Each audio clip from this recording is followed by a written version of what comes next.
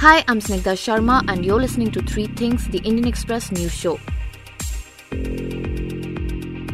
In this episode of Three Things, we discuss the vaccine shortage in Maharashtra, the plight of Bengal's famous jute industry, and the return of CRPF Jawan Rakeshwar Singh Manhas from Maoist custody in Chhattisgarh. Beginning with Maharashtra. The efforts of the centre and the states to coordinate in the fight against the second and clearly bigger wave of the pandemic in India are seeing cracks appear. The most recent case was the tussle between the Maharashtra government and the centre. Maharashtra, which is seeing a massive surge, reporting over 50,000 cases daily, has raised an alarm over shortage of vaccines. It has asked for a minimum of 40 lakh doses. The centre, while it has increased the vaccine supply and decided to send 17 lakh doses to the state, has also accused the second wave surge states of politicizing a public health issue and spreading lies. And also of not doing enough in terms of testing, contact tracing, and ramping up the health infrastructure. To find out what is going on in Maharashtra, we spoke to Tabassum Barnagarwala, who reports for the Indian Express from the state. So, Tabassum, if you can start by telling us what is the current situation in Maharashtra in terms of vaccine supply and how is it being dealt with? See, so basically, when Maharashtra started off, um, they were vaccinating around 20 to 50,000 people, and slowly they scaled it up. Because COVID 19 cases were also surging, there was a dedicated effort to increase the daily numbers of vaccination to 3 lakhs per day. Currently, Maharashtra is vaccinating anywhere between 3.5 lakh to 4 lakh per day. And based on the daily requirement, the Maharashtra Health Minister Rajesh Tope had requested the Union Health Ministry to send at least 20 to 21 lakh doses per week so that they're able to satisfy the, the rise in vaccination numbers that Maharashtra has seen. There was also a rationale behind asking for more doses that Maharashtra is seeing uh, it's a really bad second peak and it is one of the worst hit state in the entire country. So they need to speed up vaccination to create a concept of herd immunity. Now, the problem has started occurring in the last one week where a lot of districts were falling short of stock. They have been repeatedly asking the center to send more stock. There's an overall shortage in um, the supply of vaccines, and the center is being very specific with the number of doses they're giving out to each state. So, Maharashtra, as of now, has stock which will last them for two days at the most. Today, several districts like Sangli, Panvel Municipal Corporation, Satara had to shut their vaccination because there were absolutely no vials left. In Mumbai, the municipal commissioner confirmed to us that multiple centers have been shut because there is no stock.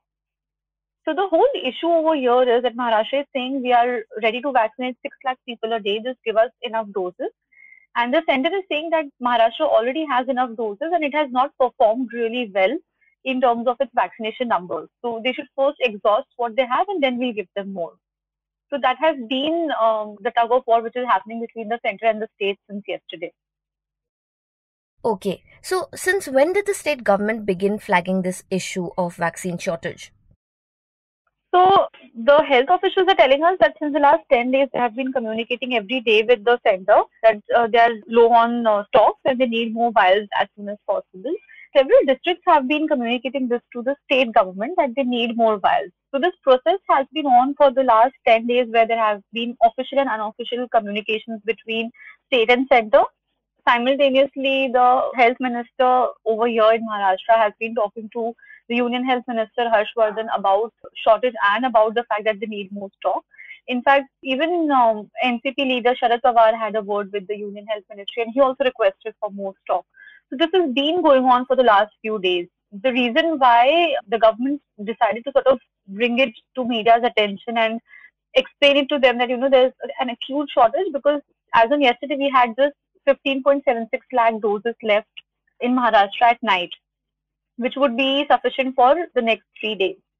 That is when this whole issue was brought to the fore, and uh, district started discussing how they are forced to turn away people because they don't have enough vaccine stock.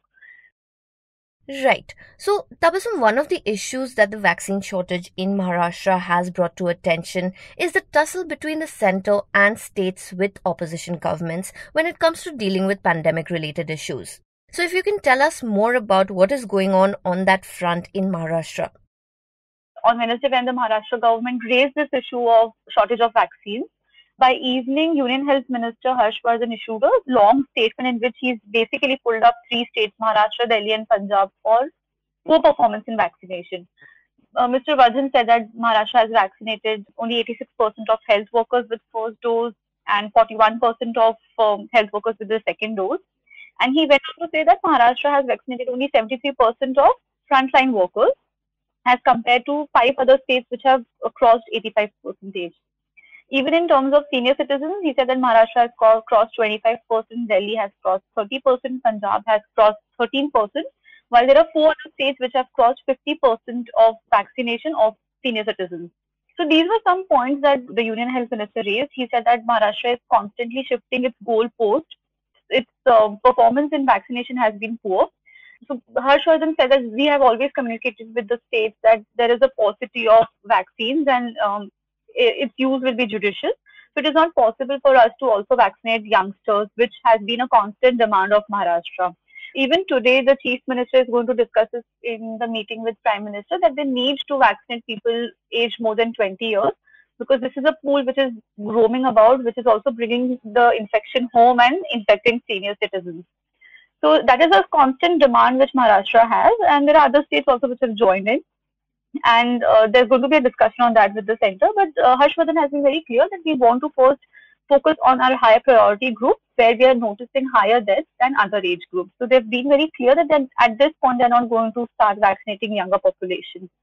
Based on whatever the Union Health Minister said yesterday, the Maharashtra Health Minister Rajesh Tope today said that Maharashtra's health workers have been working consistently tackling both COVID-19 treatment and vaccination, which has been a very tiring job.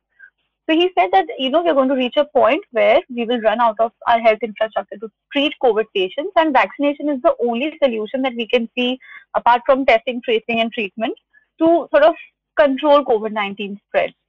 So that is why they have been consistent with three, four demands. One, Maharashtra wants 40 lakh doses per week. Second, they want to vaccinate people aged between 20 to 40 years.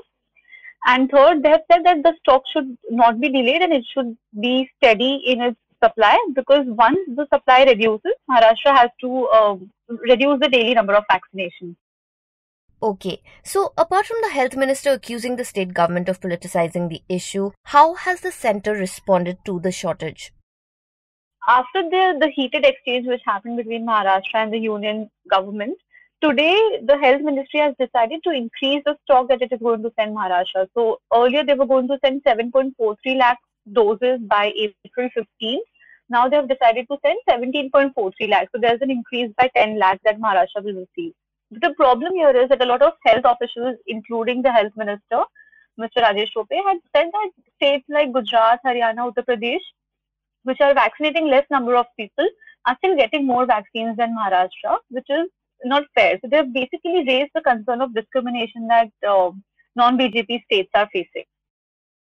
Okay, so Tabassum, since this issue of discrimination is being raised in terms of vaccine dosage supply, if you can compare vaccine supply in different states.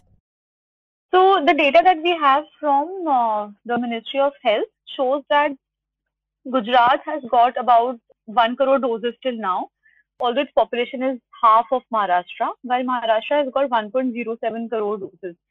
So it's basically saying that there's a disparity when you see the population, when you see the daily number of vaccinations. Maharashtra's daily vaccination count is also much higher than Gujarat. And it is right now at the top in India in terms of the total number of vaccinations given per day. To also bring into perspective how the vaccine supply has been, there are 350 lakh doses available, uh, which the Union Health Ministry is distributing to different states, of which Madhya Pradesh is going to get 33.76 lakh, Haryana is going to get 24 lakh, Karnataka is going to get around 30 lakh, Uttar Pradesh is going to get around 44.98 lakh, West Bengal is going to get 21 lakh, but Maharashtra is getting 17.43 lakh. So the basic contention is that if the vaccination numbers in Maharashtra are the highest in India and the COVID situation is the worst as of now, Maharashtra should be on priority in terms of vaccination, which they've repeatedly said that it is that is not the case.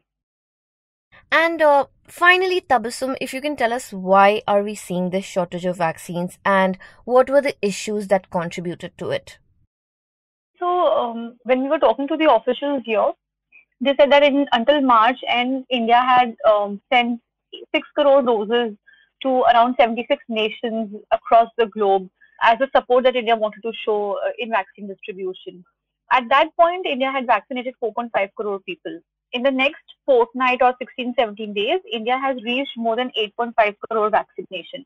So the pace has suddenly increased, and that is not something which uh, I believe the health ministry anticipated that the number of people coming for vaccination every day will increase multifold. That has been a major reason because they've run out of stock faster than they imagined. I've been told by the ministry officials here in Maharashtra that the next stocking is expected by 15th of April. So until then, if Maharashtra will exhaust its supply in the next two days, it will have to stop vaccination for four to five days because there's going to be no stock unless the government diverts stock from some other state or provides an early delivery to Maharashtra. Coming to West Bengal, did you know that India is the largest producer of jute in the world? And West Bengal is the largest producer of jute in India. Sprinkled along the banks of the Hooghly River, the mills are located in districts like 24 North Parganas and Hooghly. Jute mills were in fact the foundation on which industrialization began in Bengal in the 19th century. More than 150 years later, today, the industry struggles with issues that range from lack of finances to labor unrest. The pandemic only added to its woes. And because of all these problems, mills have no option but to shut down and reopen time and again. With the assembly elections ongoing in the state and the lakhs of workers who are a part of this industry, the jute mills of Bengal have caught the interest of political parties yet again. To find out what is going on, Indian Express's Dipankar Ghose visited the Gondalpara jute mill in Chandannagar. We spoke to him about why jute mill workers are important for political parties right now, how these parties are trying to woo the workers in their favor, and most importantly, the issues that the jute mills of Bengal and their workers are grappling with. Dipankar, if you can begin by telling us about the importance of Bengal's jute mill workers in light of the ongoing assembly elections.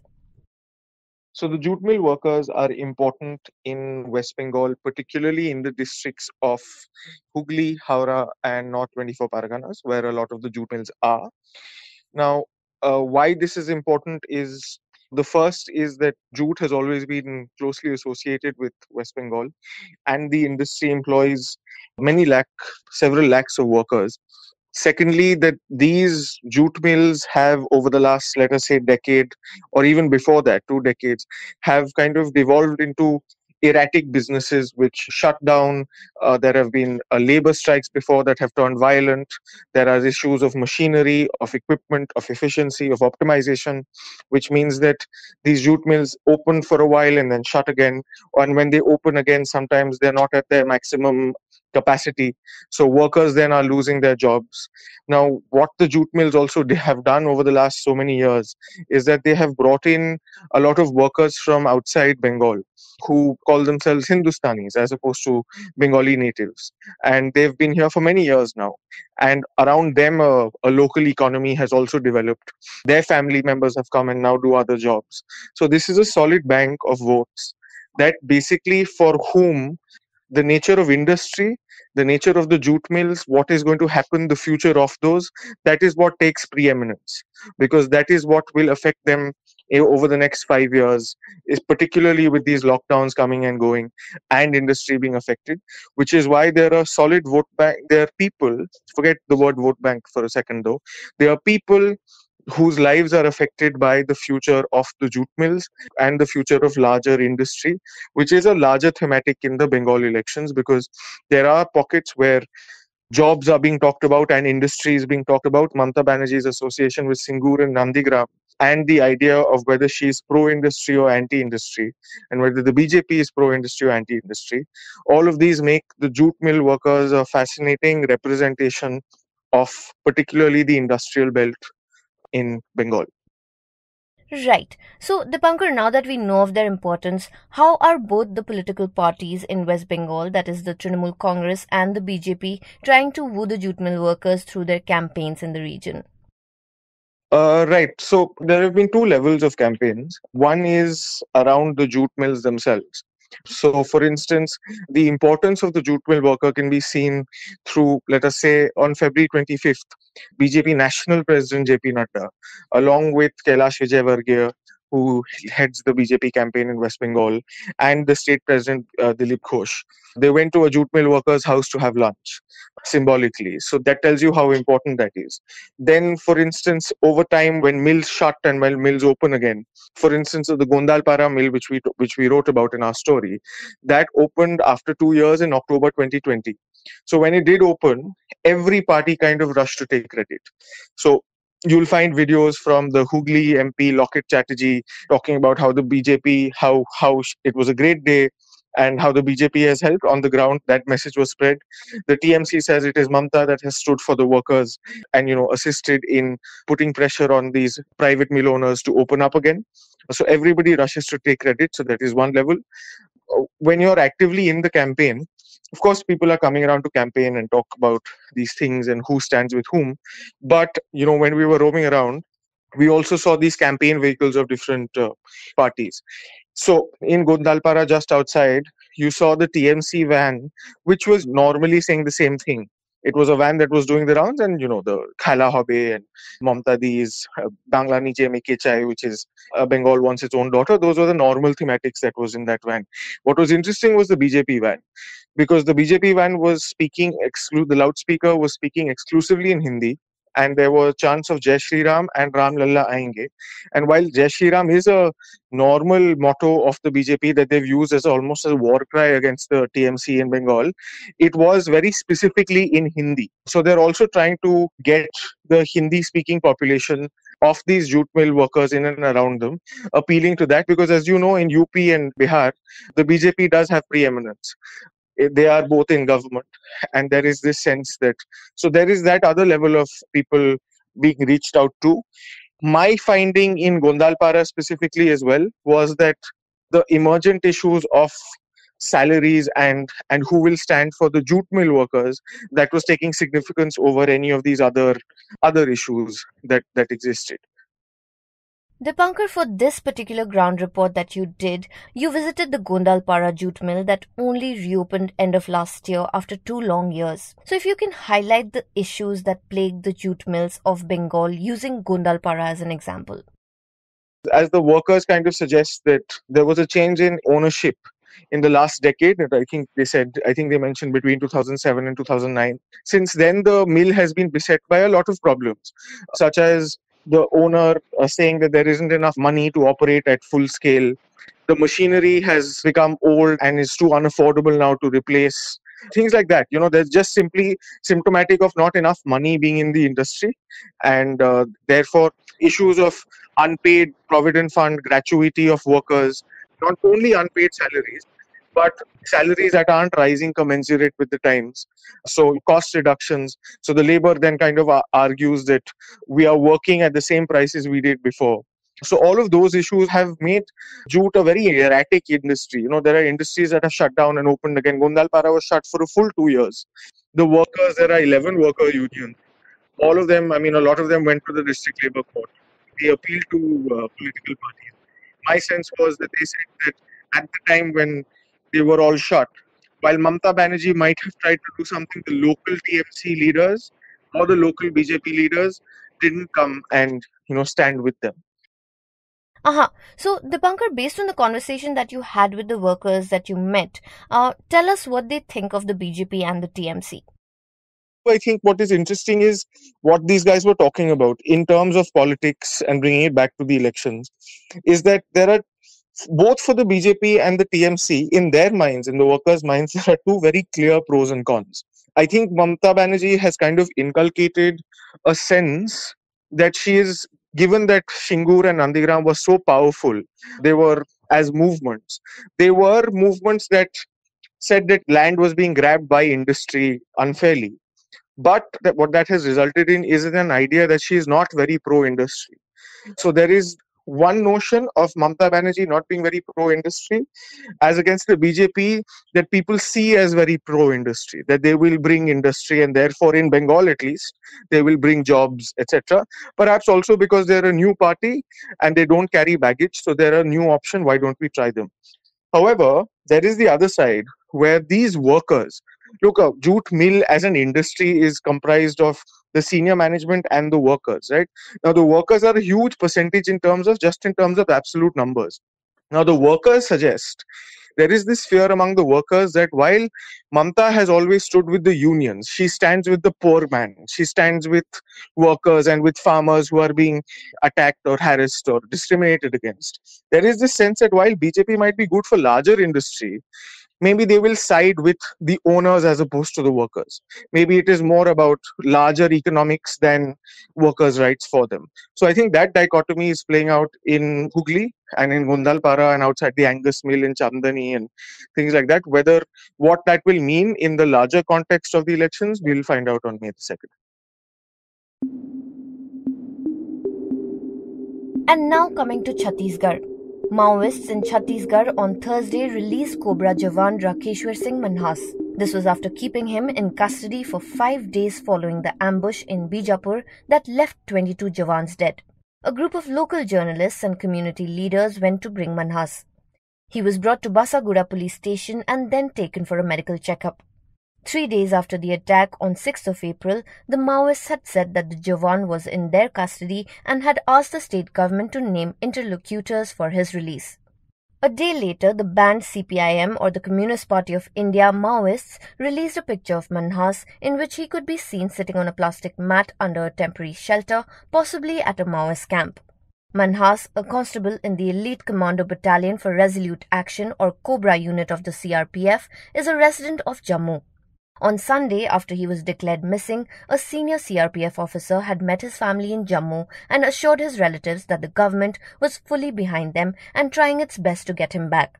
In the press note of 6th of April, the Maoist organization released the names of four Maoists who had died in the operation.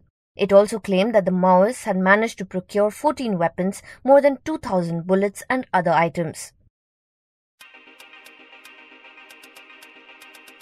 You were listening to Three Things by the Indian Express. Today's show was written and produced by me, Snigdha Sharma, and was edited and mixed by Suresh Pawar. You can follow us and leave us feedback on Facebook or Twitter at Express Podcasts or send us an email at podcasts at IndianExpress.com. And if you like this show, please do subscribe and leave us a review wherever you get your podcast from so more people can find us. You can also look for us in the audio section in the top right corner of our website, IndianExpress.com.